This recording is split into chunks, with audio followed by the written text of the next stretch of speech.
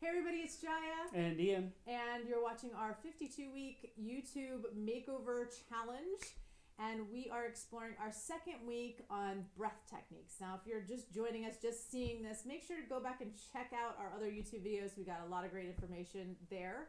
And you're popping in on a series on breath that can enhance your sex life. So, a bunch of different breathing techniques. And this week, we're focusing on a breath that increases intimacy and also helps you prolong your sexual experience. So if you have any difficulty with premature ejaculation or orgasm or just want to make it enhanced and deepen also the intimacy and connection. I know a lot of people who they can have oral sex, have sex, but they never want to make eye contact during sex because they feel like it's just too intimate. So this is going to help that as well as help you move all the sexual sensation and energy through your whole body so that you're having more of a full body sexual experience versus just a genital experience. Not that there's anything wrong with having just a genital experience sometimes, but here's a technique if you want to enhance it.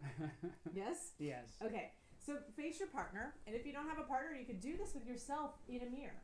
That's even more confronting sometimes to be doing it with yourself in a mirror. So making eye contact, and you want to gaze into the left eye. Don't try to gaze into both eyes at the same time. that can be a little challenging. So have your partner point to their left eye. There you go. Now we know which eye. okay. And you're going to just let your mouth, your jaw be loose. And you're going to begin just breathing in and out of your mouth like a circular breath, no pause in between the inhale and exhale.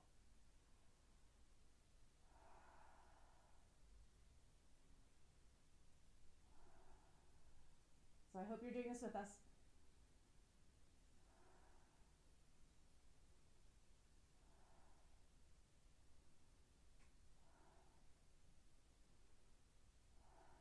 Good. So that's just a simple open eye, open mouth breathing technique. And you want to do this while you're actually having sex. So you can practice it while you're not having sex just to get the technique down. But then while you're having sex, actually practicing this. And some people say that this is a breath technique that can help you sustain passion for a lifetime because you're building that intimacy and connection. Well, the eye gazing creates an empathetic mirror response in the person that you're facing. So it's if you want to get intimate with somebody really quickly, it's also a very powerful thing simply to do the eye gazing. But when you mix the cycling of breath with that, you're mixing a cycling of energy and you get into a rhythm which puts your your nervous system in alignment with each other. Mm-hmm. So it, all of these things are like really spicy layers that increase that bond that you can experience with someone. Mm-hmm. And emotion may come up, and that's okay. So if your partner starts to cry, you're doing a good thing.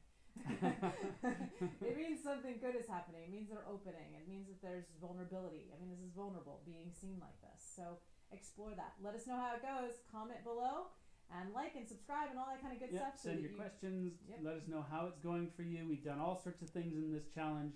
So we really want feedback. We want people telling us their experiences, their questions, their challenges. That's what we're here for.